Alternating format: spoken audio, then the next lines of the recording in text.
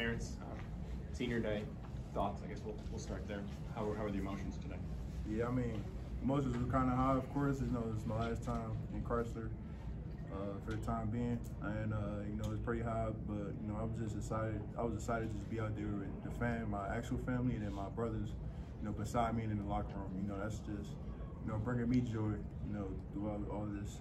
So you know, I was definitely happy today, no matter what the end results was. Just playing basketball out there and just seeing my family here to support me. Mark, I guess holding up five was that as obvious as I think was that for asking him to come back, or was everyone holding up just his jersey number? What's the five about?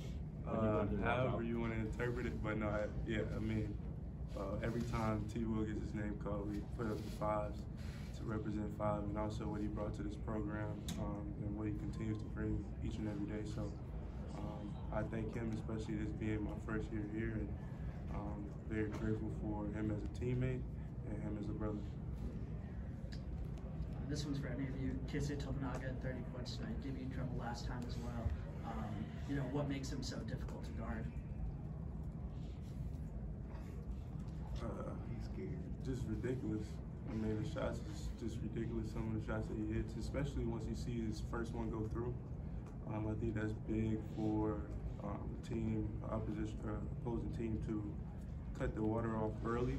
Don't even let him get, you know, one going in and giving him confidence because he really rolls off confidence and um, it ignites his um, downhill drives, and then of course the long deep balls that he hits um, when uh, when it's rolling for him. So um, cutting that off early is very important for us if we are to see him in the Big Ten tournament, whatever the case may be. And um, yeah, yeah, I'm, I'm frustrated about that for sure.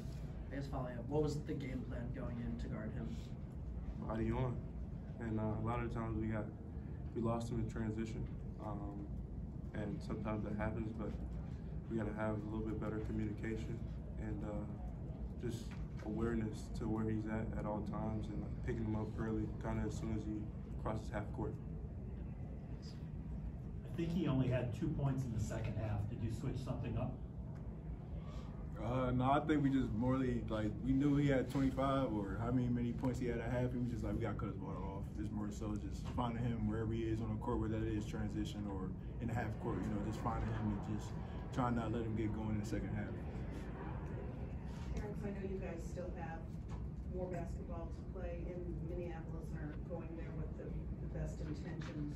Can you just kind of summarize this final game at home, where this season has gone, and, and how you feel about you know the eight and twenty-three finish? Yeah, uh, that last part, eight and twenty-three, that just it would never sit right with me. I don't think it ever will. Just eight and twenty-three, that's just a bad record. I just didn't have a vision my senior season to go, of course, but you know it happens. Um, it's adversity.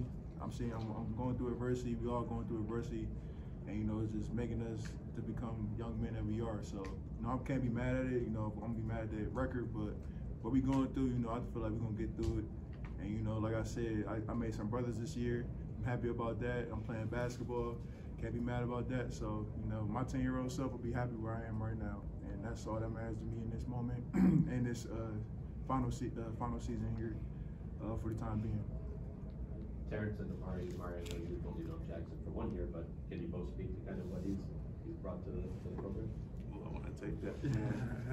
um, Jackson, he's been a he's my locker roommate or my locker buddy right next to me. It's him and um, Ian, um, but he's a legend himself. and even though I'm saying that as a joke, because we say that to each other, it's also serious. Um, the way he goes about each and every day, um, the reps he's taking on the scout team, giving us a good look um, for the five men on the opposing team, and just coming in each day with a, a mindset to help us and also just to you know, create a brotherhood. He's somebody that I call my brother now and for the rest of my life. And I'm grateful for what he's done for me and his team. Yeah, to go along with that, Jackson, man, one of a kind. He comes in every day, puts in the work on scout team, puts in the work uh, when we're doing our drills. He gives it all at, at all times. And, you know, uh, you can count on him to bring it every single day in practice. And whenever he gets it in the game, you know, he's going to bring it too. So, you know, that's my brother. And then, like, off the court, that's definitely my brother because we spent a lot of time together, you know, hanging out. I was over his house watching the national championship. So it's just more than, you know, which I see on the court. Like, Jackson, man, he's one of a kind, and you know he brought me in, uh, manager to walk on. You know that's something that's very hard to do. So, you know I'm very proud of him, uh, proud of his journey, and his, his journey is inspiring to many people in the program.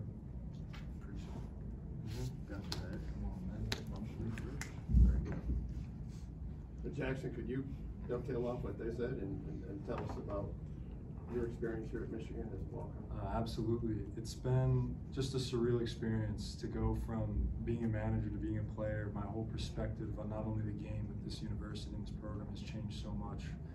And, you know, it means everything to me to be able to come to the gym with guys like Nimari and T. Will. Um, Mari, only known him for a year, like we said before, but T. Will to see his progression from his freshman year to like senior year now, it's just, it's unbelievable to see where they're going to go. Just great, great basketball players, but they're really going to be successful in life, and that's what's important. Thank you, brother. I appreciate it. I know, I know you guys mentioned this, but uh, when there hasn't been a lot of winning on, on the court, are you guys talking about winning in life? How this can help? I mean, most definitely. I'm, um, that's one thing I had brought up not too long ago. I was like, even though the season hasn't gone, you know, how we all want it to be, how we all envisioned, um, we could never question the group of players, the group of teammates, the group of people that we had. Um, we have have a lot of all of us are high character individuals, and so you know to see how the season has gone. With that being said, it, it definitely sucks. It, it, it's you know it weighs on all of us in our own individual ways. But um, us together and us as a group, man, I'm, I, you know, these guys are people that I would talk to for the rest of my life, and um, ultimately, I'm grateful for that. Anything else? When you say it weighs on us in our own individual way, how have you guys battled that? How has Juwan kind of helped you guys coach through that, rise above? Yeah, it's all an adjustment for all of us, I would say. Um, you know, I, I don't think any of us are used to losing, you know, so um, it's something that we've all gone through together. We've all leaned on each other in the best way possible. Um, communication has not been a problem as far as off the court, um, as far as talking about what it takes to win and what we need to do and how we need to do it. Um, and that's why it is a little frustrating. But, you know, like I said, I, I am grateful for everybody, the players, the staff. Um, these are, are great people all around. Yeah, like to go along with that, you know, Coach Howard, you know, he's just trying, you know, lay the message that, you know, we gotta just get one percent better each day and he's not like pounding the losses on us. He's not, you know, just saying uh, yelling at us every day in practice or any of that. You know, we, we watch film, we try to learn from these mistakes that, you know, we keep doing and we try to apply it. And uh, I appreciate Coach Howard for that.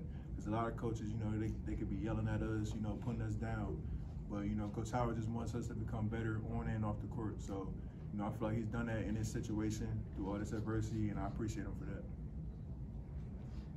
Anything else? I'll just Thanks, Butler. quickly. I'll, I'll ask the, the flip side of that, just for, for the fan who hears that and says that that you guys aren't being pushed, or that maybe there's any complacency, right? If, if can you just speak to the counter? Yeah, I mean, no, we definitely being pushed every day in practice. We trying to fix the mistakes. Like, we not just going into practice thinking like uh, we're gonna just wipe that away, away the game that just happened. Like, we're gonna watch film, we're gonna drill. Coach Howard's gonna drill us, and the coaches gonna put us through drills that help us in the next game. And you know, we're not complacent with it. Like, we're not satisfied with the record. Like, just to be, you know, transparent. But um, yeah, to the fan that sees it, they're not gonna see it back door because you know it's a fan perspective. They're not in the program each and every day.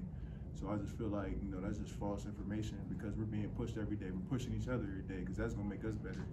So, yeah, that's my opinion. With, with the COVID year, do you guys still have any eligibility? And if so, have you made a decision on your future? Uh, I have eligibility. I got one more year.